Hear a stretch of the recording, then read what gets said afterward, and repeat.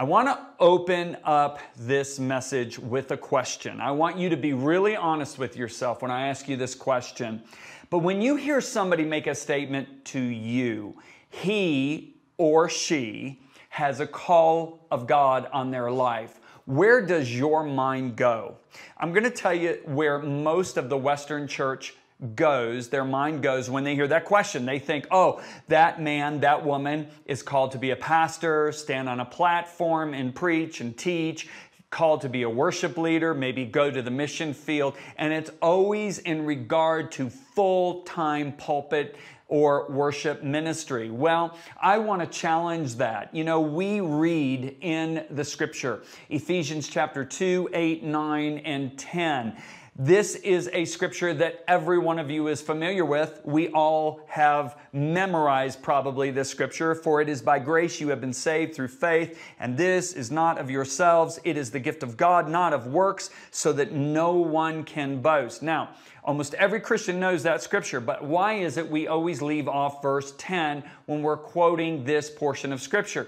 Because verse 10 starts out with the word for. For means because of this. It is a conjunction, which means the thought process is not through. For you, we are God's workmanship created in Christ Jesus. Now listen to this to do.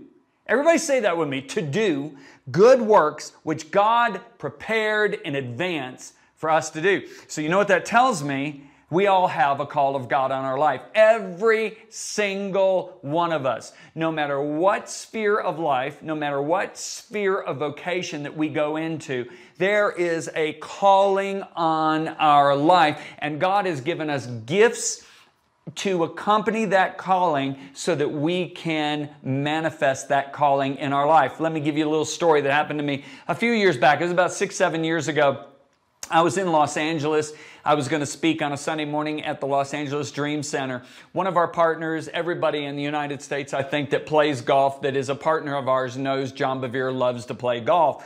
Well, he called me and said, Hey, would you like to play Riviera, which is one of the most famous golf courses in Southern California? I said, Absolutely. He picked me up Saturday morning. We went and played, had a great time. We were on our way back to the hotel, and his name, Stan, made a statement to me. He said, John, I, I, just really want to open up and kind of bare my heart to you. I said, Sure, Stan, what's up?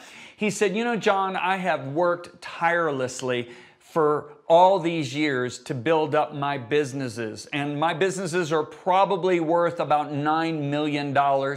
He said, to be really honest with you, my wife is cared for for the rest of her life. My children are cared for for the rest of their life. He said, here I am now entering the decade of the 50s. Why should I work as hard as I have worked up to this time to build my businesses up to $35 million? Why not just take it more easy because my wife and children are cared for? Well, I immediately looked inside and I said, Holy Spirit, you got to give me an answer for this one. I said, You know, I have written, and at that time, seven years ago, it was 17 books. It's now 22 books. I said, I've written 17 books. I have gotten on airplanes. I've flown about 12 million miles all over the world, every continent except Antarctica.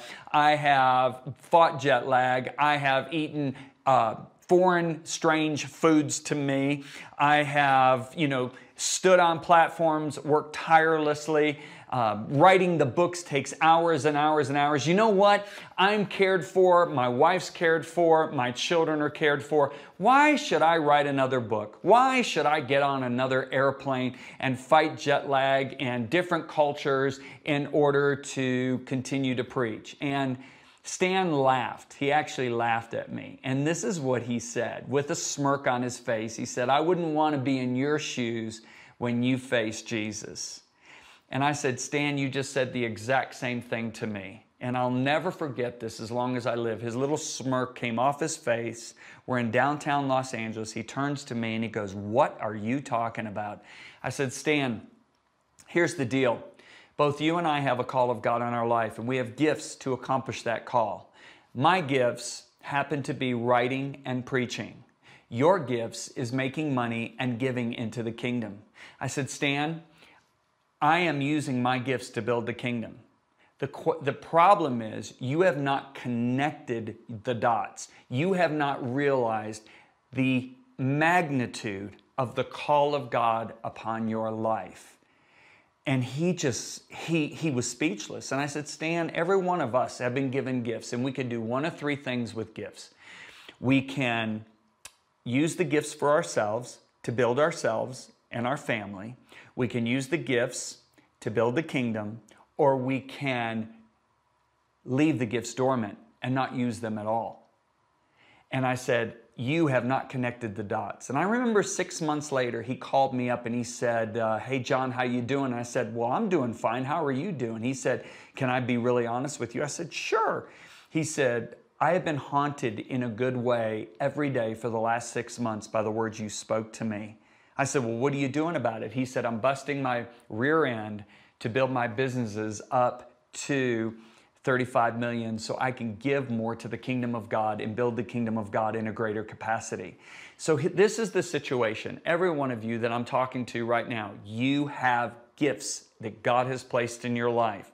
I want to talk to you about those gifts today. Now, first of all, Romans chapter 12, verse 6 speaks specifically to this. Paul makes a statement. He said, Having then gifts differing according to the grace that is given to us, let us use them. Now, there's three words that I want to highlight at the beginning of this message that are going to be very important and very key to what we're talking about. The first word I want to highlight is the word grace. All right, let's read that scripture again. Having then gifts differing according to the grace that is given to us, let us use them.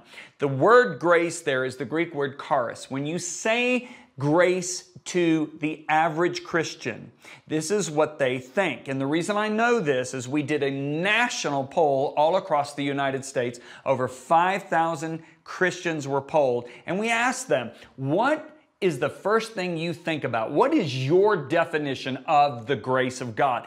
The top four answers were forgiveness, it was salvation, it was a free gift, and the love of God only two, and this is the tragedy of the survey, only 2% of those over 5,000 Christians said that the grace of God is God's empowerment. Yet this is exactly what God says to the apostle Paul in 2 Corinthians 12 verse 9. God says, "My grace, now listen to these words, my grace is sufficient for you, for my power works best in your weakness or your human inability. So God right there identifies his grace as his power.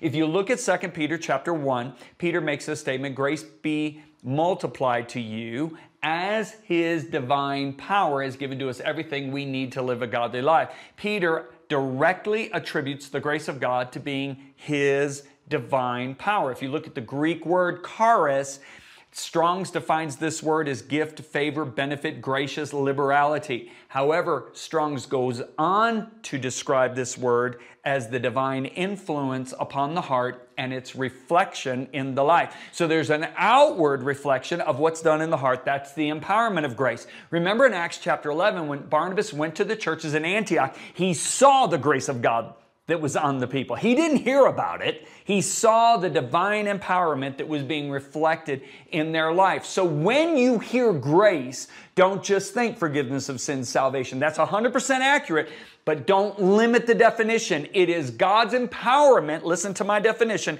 that gives us the ability to go beyond our natural ability. Write that down. It is God's divine empowerment upon our lives that gives us the ability to go beyond our natural ability. Let me tell you something about the call of God on your life. The call of God on your life, you can never, ever, ever, ever, ever, ever accomplish it in your own ability. yeah, God made the calling that He placed on your life beyond your natural ability. You want to know why I know that? Because if God made it Let's say it this way. If God made you able to fulfill the call that He placed upon your life in your own ability, then He'd have to share the glory with you. And God said, I'm not sharing my glory with anybody. So that means that God made your calling beyond your natural ability, so you would have to depend on grace to fulfill it. Oh man, that one makes me really excited. This is why it is so important you understand what I'm saying to you. Now, having gifts differing according to the grace that is given to us, let us use them. Now I want to focus in on the word gifts. If you take the Greek word charis and you put an M and an A on it, you get charisma. What is charisma? It is a specific gift of grace that empowers an individual to fulfill what they have been created to do. One of the charismas on my life is writing. Okay, now a lot of you don't know this, but one of my worst subjects in high school was English and creative writing. yes, I'm not kidding. We actually have a national entrance exam that gets us into college, university, and one of the major sections of that uh, exam is English or verbal, and I scored a 370 out of 800. Now, let me tell you how bad that is. First of all, that's below 50%. Secondly, in all my travels across the United States, I have only met one individual who scored lower than me in the English and the creative writing and the comprehension on the SAT. So, you can see I was horrific at writing. I mean, it would take me four hours to write a two page paper. So, in 1991, when God spoke to me, it was the summer of 91. I remember I was outside, it was early in the morning. I was praying. God said, Son, I want you to write. I kind of laughed. I said, God, I think that you have so many of us kids now on this planet that you're getting us mixed up with one another. You don't want me writing. and, you know, uh, there was nothing, no response from the Lord, nothing. And, and I said, God, you just, I mean, talk to my English teachers.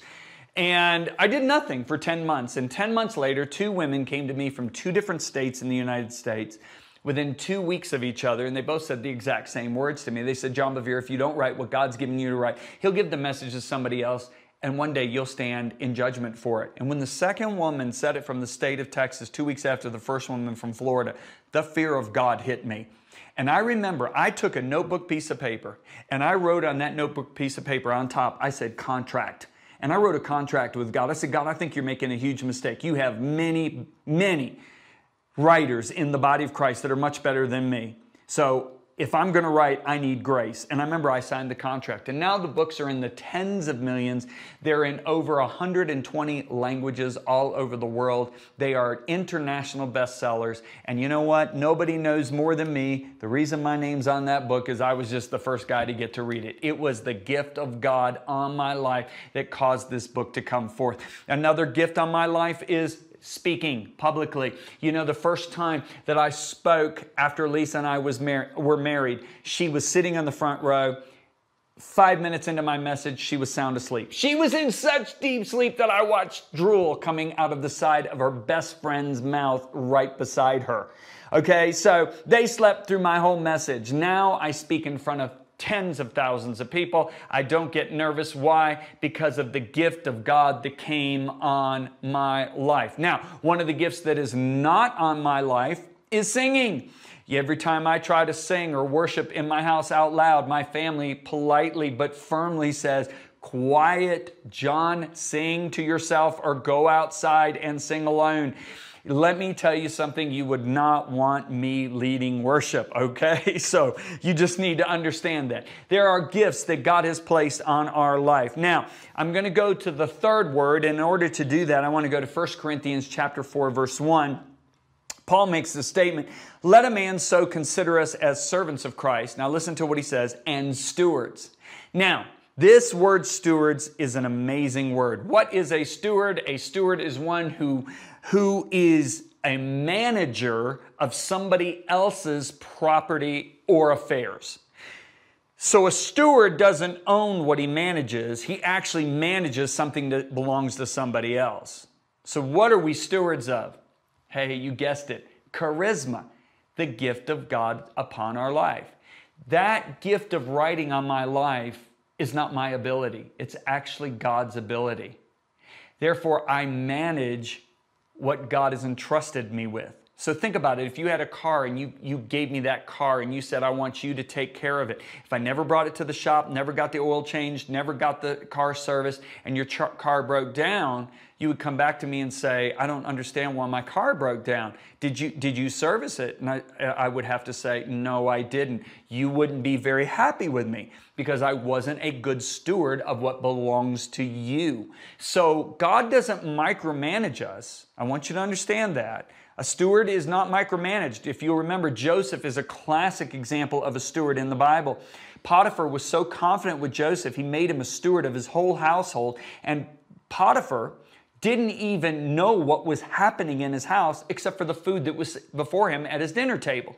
That's how much he committed and trusted the caring of his household, the finances, everything, the administration of his household to Joseph. Joseph was a steward. So we, you and I, are stewards of these gifts that God's placed on my life, on your life. So if you if yours is singing, if yours is giving, you are a steward of that gift. Now, I want to go to a scripture that pulls all three of these words together, and that is 1 Peter chapter 4. And I'm going to tell you stories when I get to the end of this, but I just want to really lay a foundation scripturally of what I'm talking about. 1 Peter chapter 4:10 says this, as each one has received a gift. The word gift is charisma.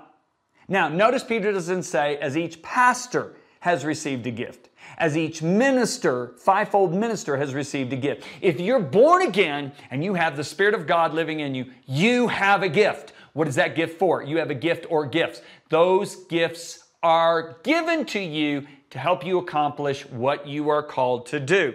Listen to what Peter says as each one has received a gift, minister it to one another. So he says, hey, don't sit on it use it. Remember, Paul says, having gifts differing according to the grace of God, let us use them. God didn't give you the gift for you to sit on it, okay? As good stewards, there is the word stewards, as good stewards of the manifold grace of God. So, what he's saying is, manifold means there are so many aspects, so many different aspects of God's giftings.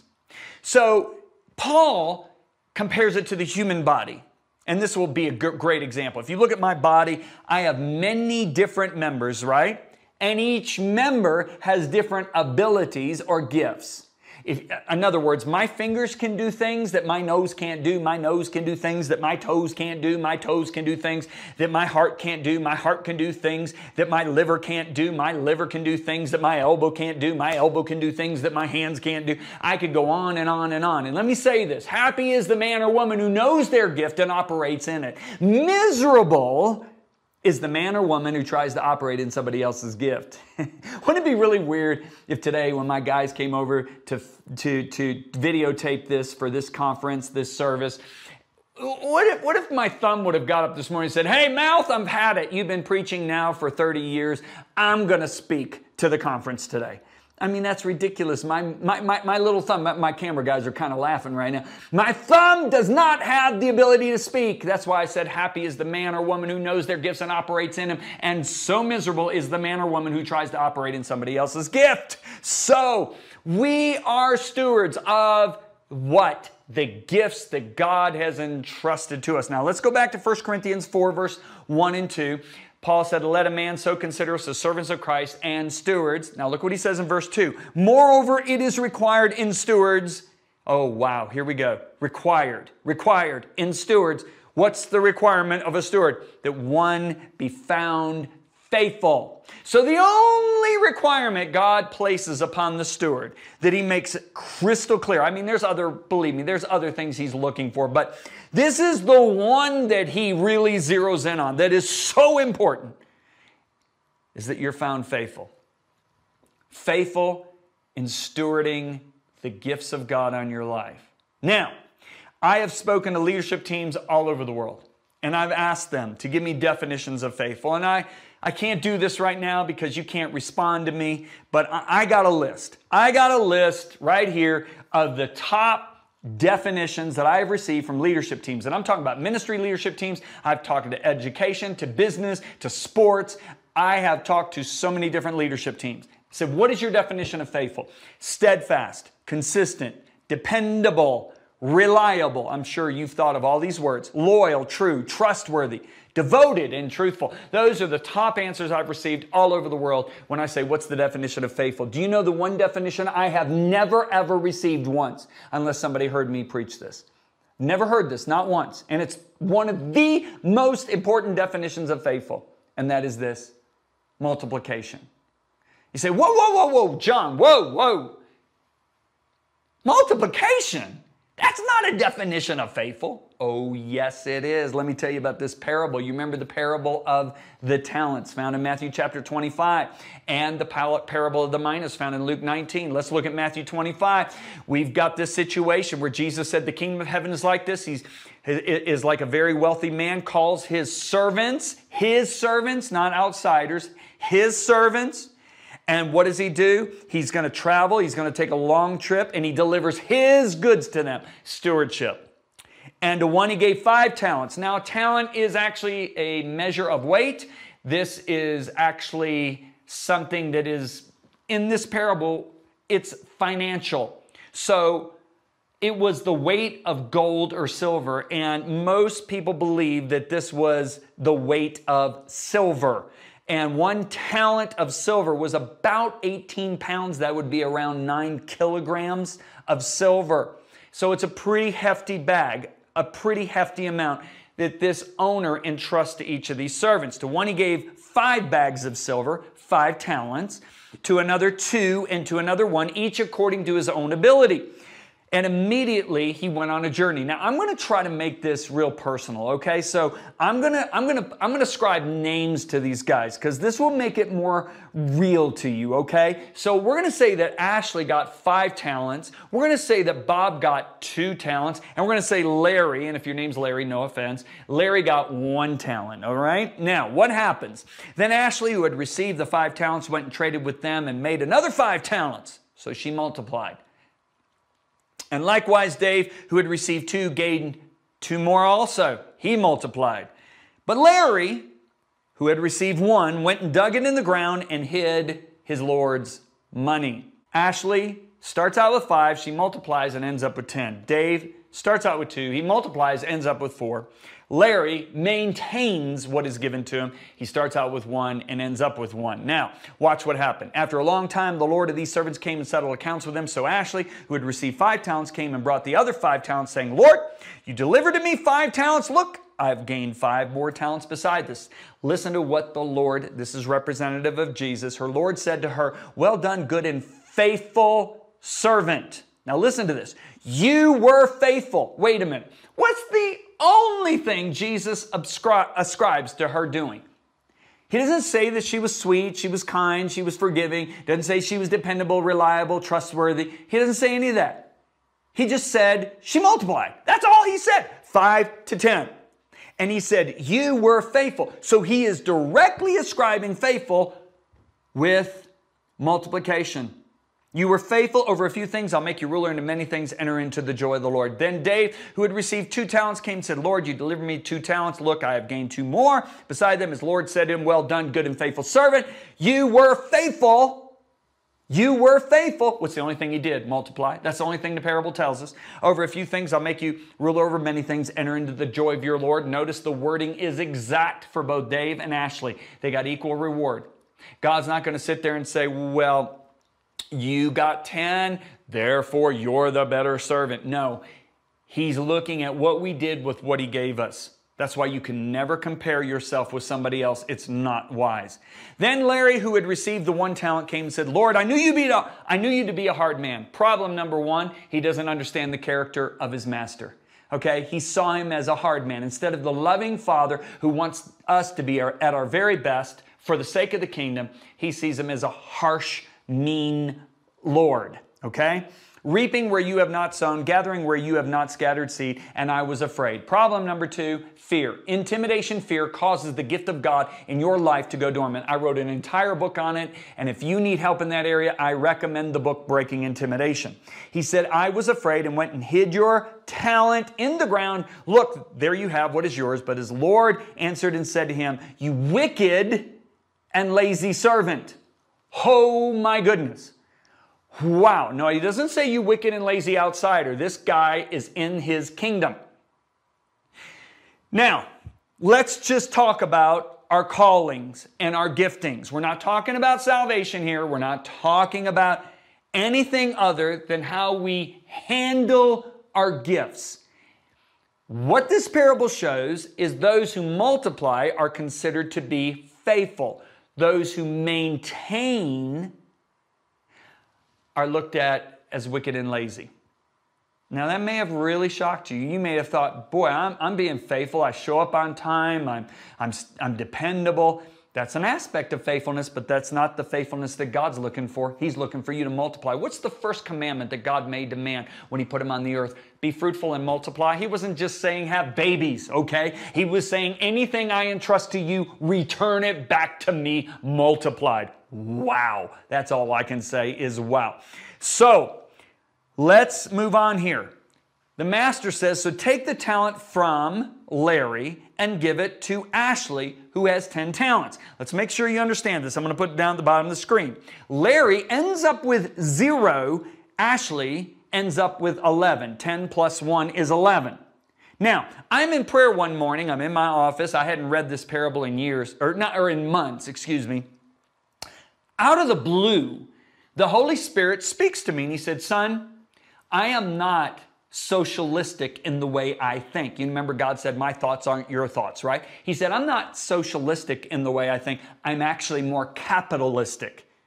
And I remember saying, Okay, God, you, are going to have to show this to me from the scripture. And He brought me to this parable. Social, the socialistic God would do this. He would give all three of them, Ashley, Dave, and Larry, okay? He would give all three three talents each.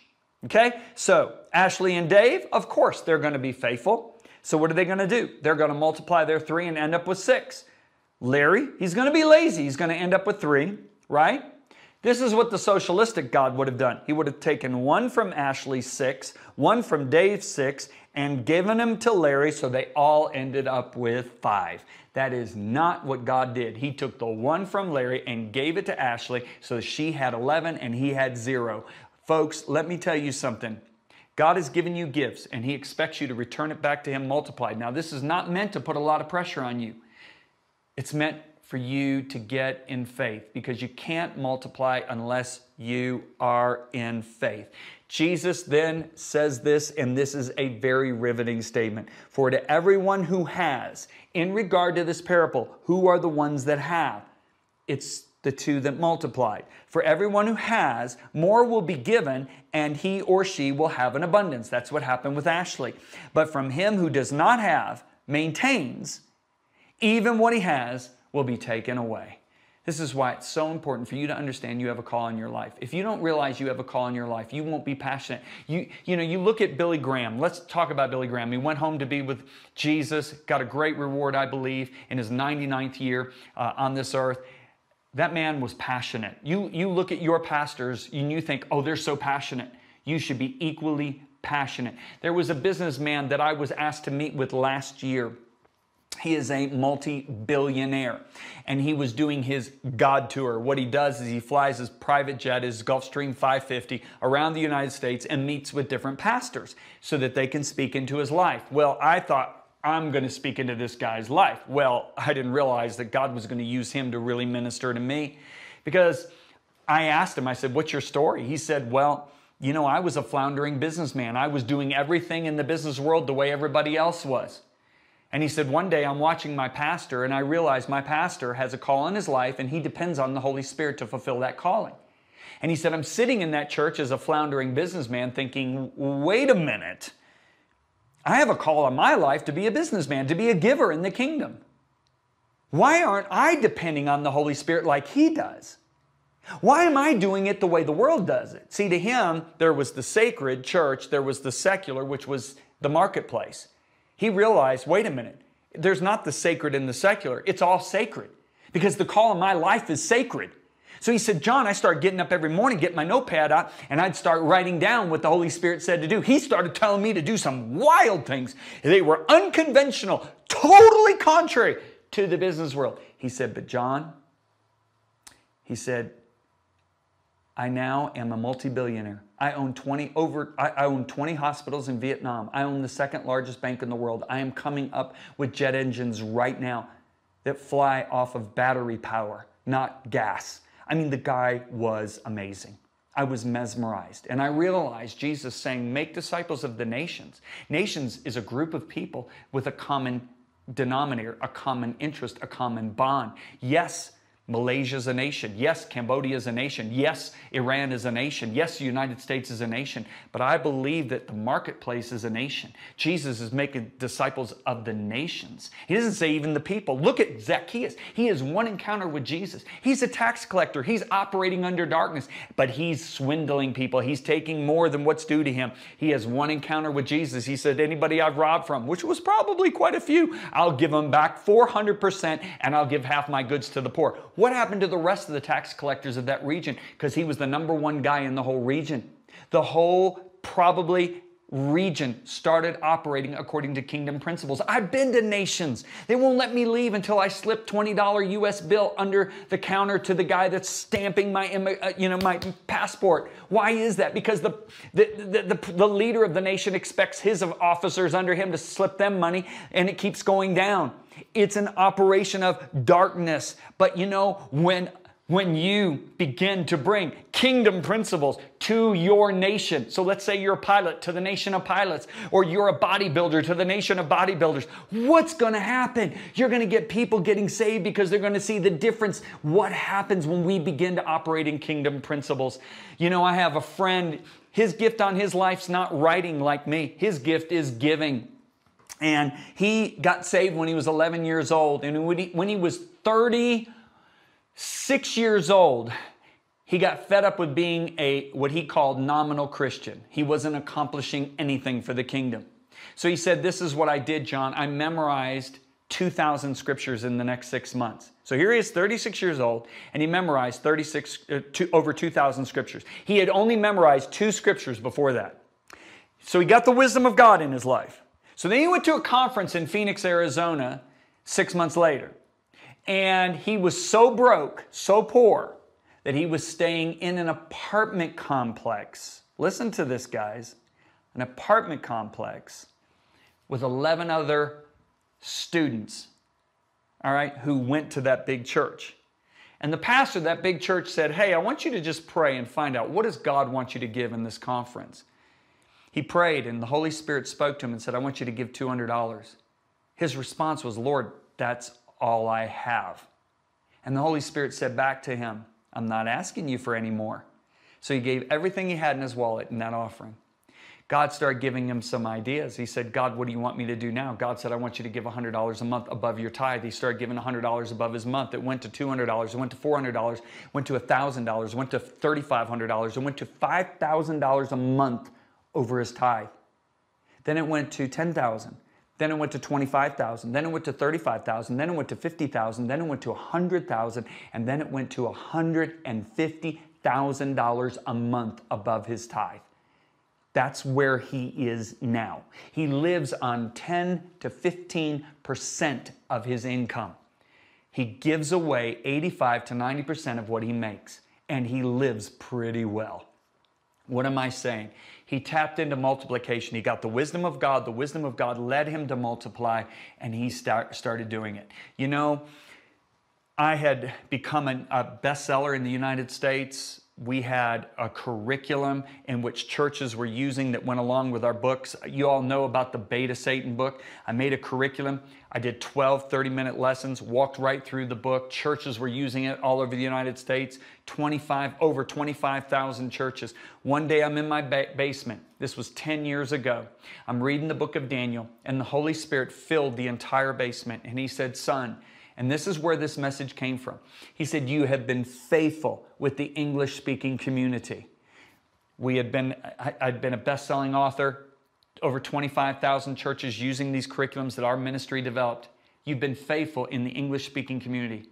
I now want you to get your books into the hands of every pastor and every leader in the world who cannot afford them.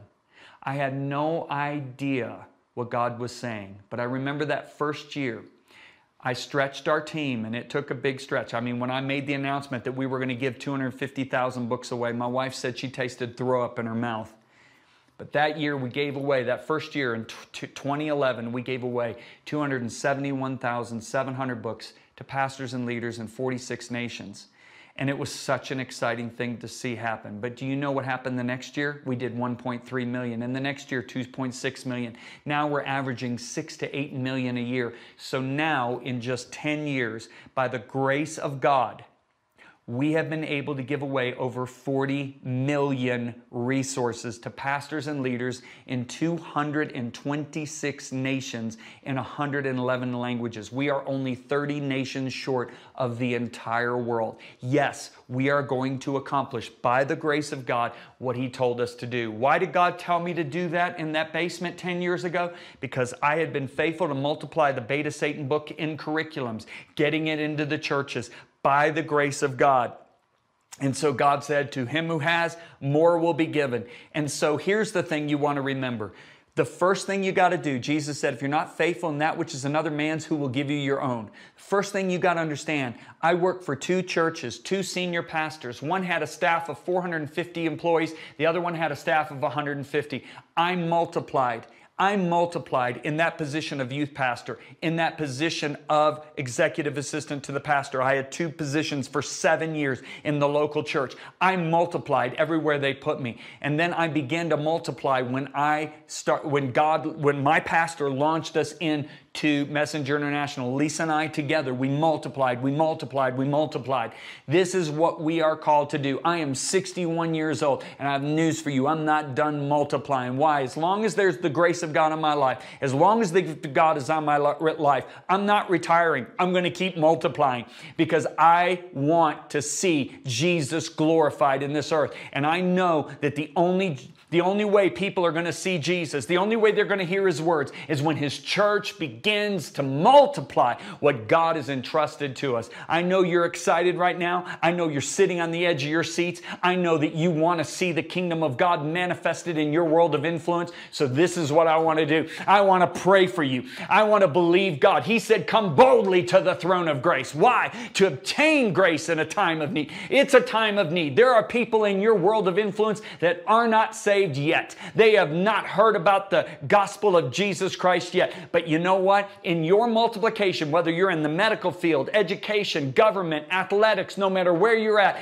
the kingdom of God is going to manifest and it's going to multiply because of your obedience. So, Father, I pray for my brothers and my sisters that are watching right now. And Lord, I'm asking that an anointing and a mantle would come upon their life to multiply the gift of God that is upon their lives lives. I pray, Father, in Jesus' name, that Lord, whatever gift you've placed upon their life, that that gift would be stirred up, come alive, and multiply in their world of influence. And I ask it in Jesus' mighty name.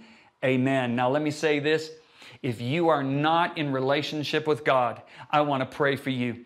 You know, you can never really successfully do what I have preached to you about unless you have a relationship with your Creator. The Bible makes this very clear. The only way to have a relationship with God is to enter into a covenant with Jesus Christ. Let me make this really clear. The Bible says that Jesus is the groom and that we are his bride. Now, God gave us an illustrated sermon that we see every day, and that is a, a relationship between a husband and a wife. Jesus is the husband, we're like the wife. When a bride walks down an aisle of a church, she is actually making a pretty strong statement. She's saying goodbye to 3.9 billion guys. You know what she's saying? This is the one and only man I'm going to give the rest of my life to. When we come to Jesus Christ, He paid the price and freed us from our sins so that we could enter back into a relationship with God. However, the only way you can ever have a relationship with Jesus is not just praying some formula prayer. It is when you say, I give my entire life to you the way a bride gives her entire life to her husband. She's not going to flirt with guys anymore, give guys their numbers, jump in bed with other guys. I am completely dedicated to this husband. That's the only way you can enter into a relationship with God Almighty. And if you say, John, I'm ready to do it, then I want you to repent right now. What does repent mean? I'm going to change the way I live. I've lived for myself. I am now going to live for Jesus Christ, who is my groom. So let's pray this prayer together, and I want you to mean it. Say these words out loud. Say this God in heaven, forgive me for living life my way. I'm not doing that anymore. Today it's all changing. From this moment forward, for the rest of my life, I give my spirit, soul, body, everything I am, everything I own to you, Jesus Christ. Jesus, you are now my Lord, Master, and Savior. My life is forever yours. In Jesus' mighty name, amen. If you prayed that prayer, you have become, and you meant it from your heart, you have become a child of God. And you are now my brother, or you are now my sister. And you are now a princess of the King of the universe, and you are now a prince of the universe, of the King of the universe. I am so happy for you. It has been a pleasure and honor. Remember the book X, it's a big X, multiply your God given potential. You can get it wherever books are sold. I love you guys so very much, and God bless you.